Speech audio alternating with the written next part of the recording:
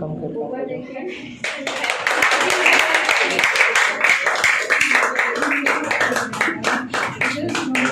निकलेगा कैसे ये?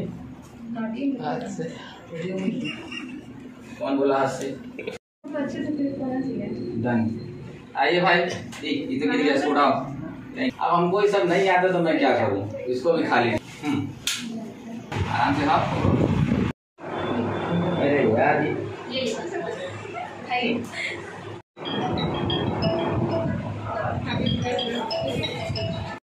हटा ही दिया देखो उनका फ़ोटो लगा देना चाहिए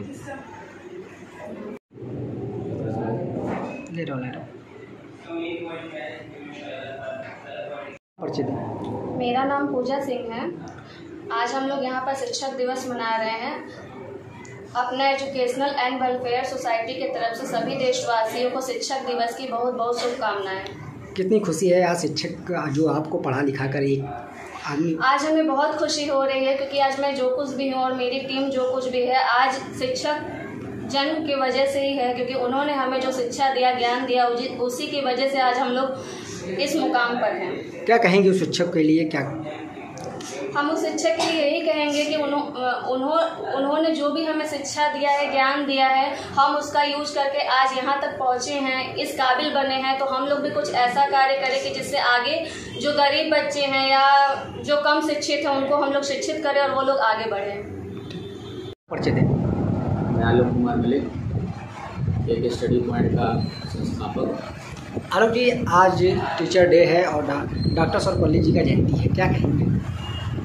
आज तो महापुरुष का जयंती है तो उनको सबसे पहले सस्तक में प्रणाम करता हूँ। और सब देश के या पूरे संसार के जितने भी गुरुजन हैं, मैं उनको आपके चैनल के माध्यम से यहाँ से नमन करता हूँ, प्रणाम करता हूँ। क्योंकि उनकी ही देन है कि आज जो है, लोग इतना आगे बढ़ रहे हैं और जो मैं आज जिस मुकाम पे हूँ, आज मेरे गुरुजनों का ही देन है कि मैं इस मुकाम पे हूँ। नहीं तो यदि गुरु नहीं रहेंगे तो फिर इंसान का अस्तित्व ही कहाँ है? उनको कौन बताएगा कि सही क्या है, गलत क्या है?